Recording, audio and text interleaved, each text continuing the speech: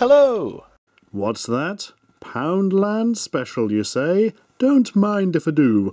Yes, it's our first foray of 2016 into the crap sold by the one unit of currency stores that exist around the world. And let's begin with something I think, in a very real sense, we all need in our lives.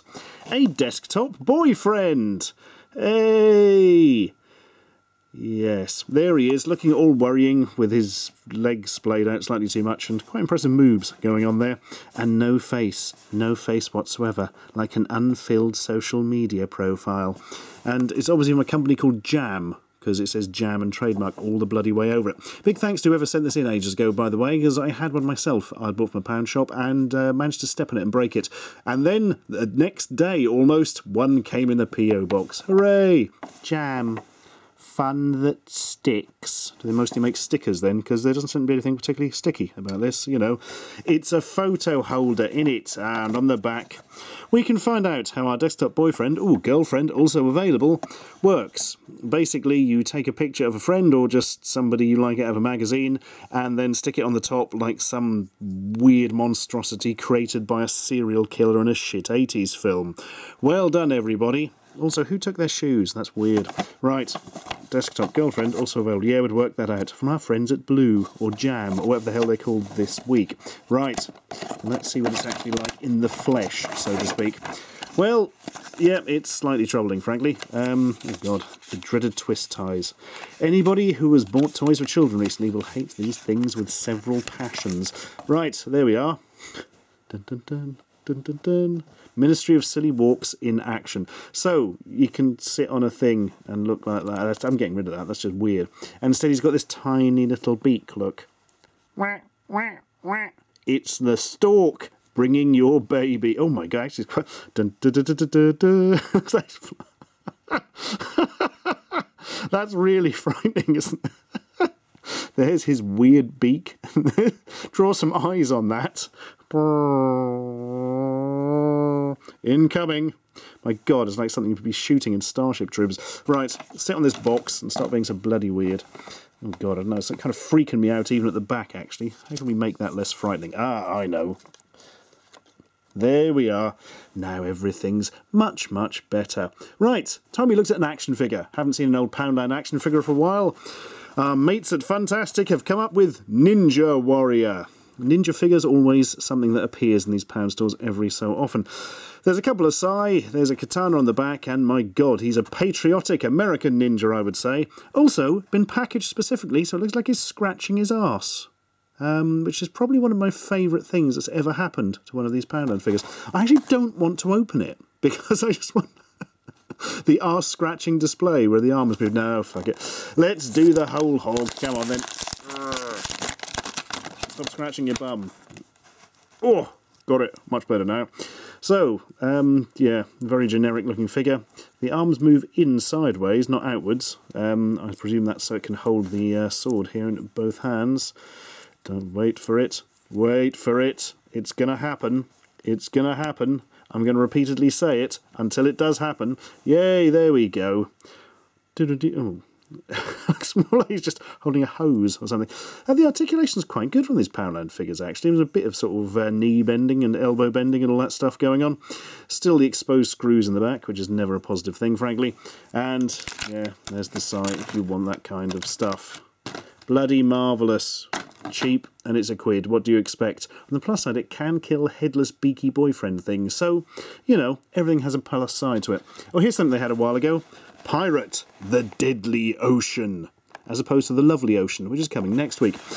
Now, their pirate figure, you may quite easily realise, is actually just one of the wrestling figures they have repainted slightly, stuck a hat on him, and given some sort of shitty telescope and cutlass combination. Thanks, fantastic. The facial expression is something quite special, actually. Um, looks kind of harrowed, as if he's had a hard life and he's just seen something which means he can no longer continue. Yar! Me hearties, that's what the kids like in their toys. Existential dread.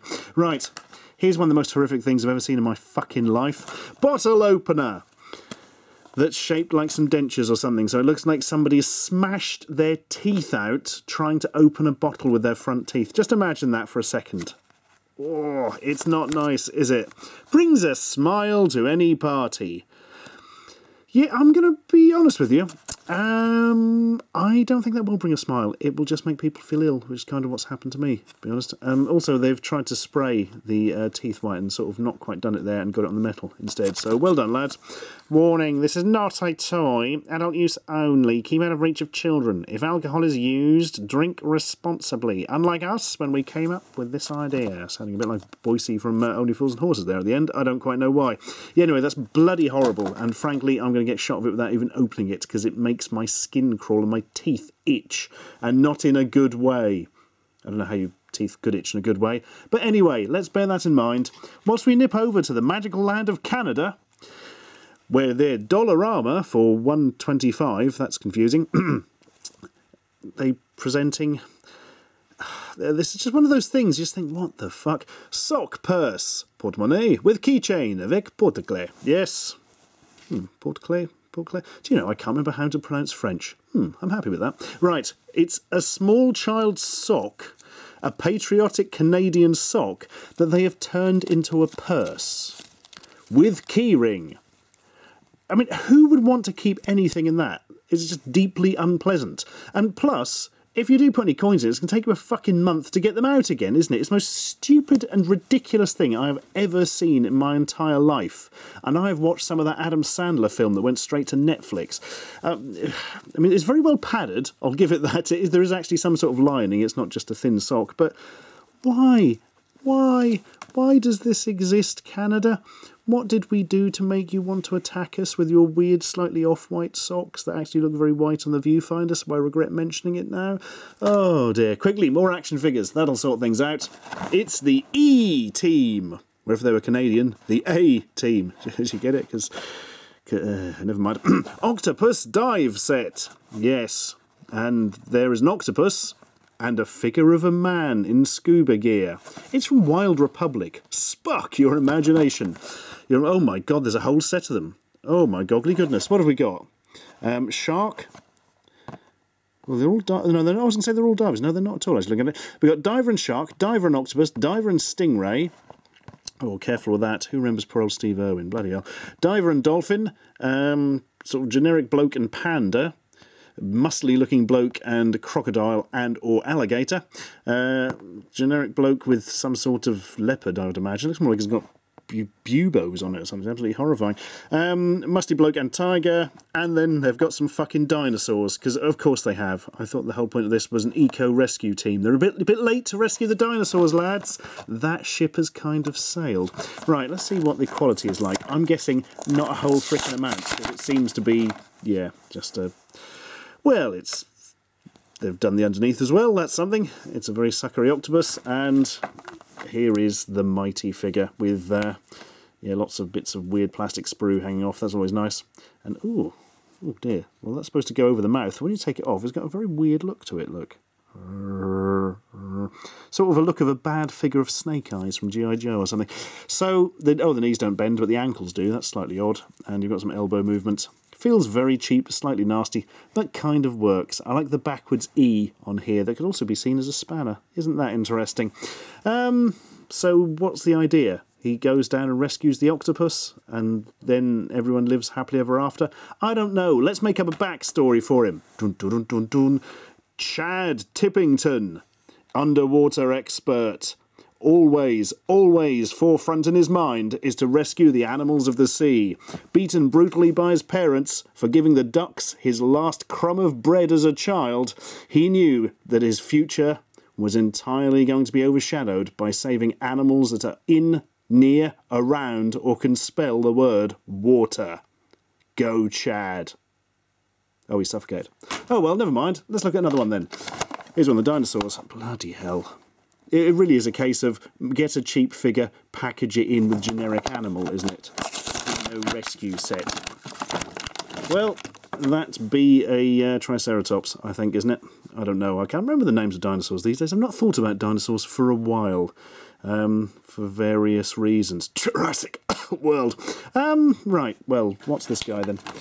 Oh god, he's actually attached to the back. Ah, not anymore. There you go, can keep that as your utility belt. Um, yeah, exactly the same deal with uh, the articulation, except you haven't got the articulation on the flippers there. Um, which I suppose, actually, thinking about it, it's so he can look like he's swimming. Hey! Oh, that's quite good, actually. Well done. Bonus points. Can't even ride it looking. He's got loads of Tipp-Ex on his shoe. Deary me, you are a messy man.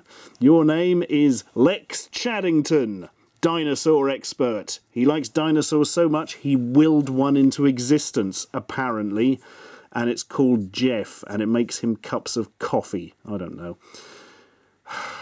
I'm now slightly thrown because I've got the theme tune to Denver the Last Dinosaur stuck in my head, and that is not something you need at any stage during your life. Ah, well, there we go.